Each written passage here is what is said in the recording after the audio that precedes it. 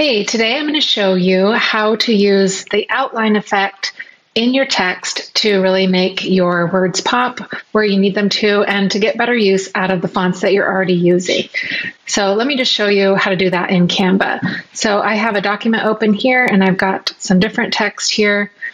And so this is a font that I've added and it does not have like a bold option. You can see that the bold is um, like grayed out here. So it means I'm not able to make that bold. So, but I want to make it a little bit thicker. What I'm going to do is I'm going to click on the font that I'm going to do that to, and I'm going to go to effects that's up here on the top. And then you'll see all these different options, but we're going to go to outline. And I'm going to click on outline and you can see it puts an automatic color around, but we want to pick the same color that the main font is in. So I can figure out what that is by going up here to the top, go to this A, and then I can see it's right here. It's actually the one in my brand um, kit here. So I'm to click on that, make sure that's what it is, and then I'm to go back to effects. I'm to click on this gray box, and I'm to go change it to that black again. And you can see that it made the font a lot thicker. You can go quite a bit thicker here um, but I just want to keep it just a little bit thicker than it was.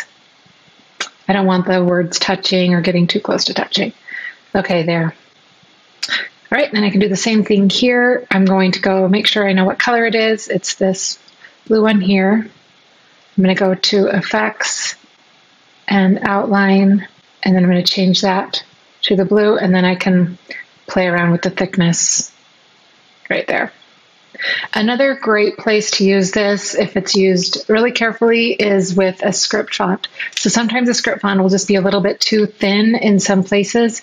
And if you go here, go to effects, and again, we're going to do the outline and change it to the color we're using already. Uh, and then really, you're just going to want barely any thickness on it, just like that. All right, here is a PDF that we're creating. This is in my brand in a box collection. Let's say as you're using it, you want to thicken up this script here. If you go to effects, go, let's just make sure we know what color it is. Okay, it's the second black one here. Go to effects, go to outline, and then get the thickness just right.